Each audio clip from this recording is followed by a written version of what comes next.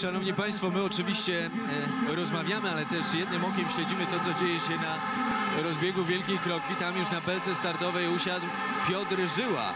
Piotr Żyła, który wczoraj był 19 indywidualnie w konkursie drużynowym, a dzisiaj będzie chciał już na własny rachunek poszybować jak najdalej. Przygląda się temu wszystkiemu Apoloniusz Steiner i od razu gorący komentarz do skoku Piotra Żyły, tego trzeciego z tej naszej złotej trójki.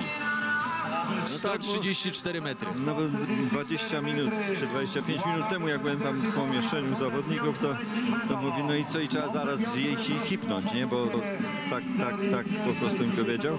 No teraz sobie hipnął, tak widać, na luzie, bez lądowania w telemarkiem, rozpoznawczo, ale widać, że ma swobodę. y, W tym skoku miał dużo swobody, także i, i troszkę rezerw. Czyli uruchomi, to będzie jeszcze lepiej, tak. Bo to był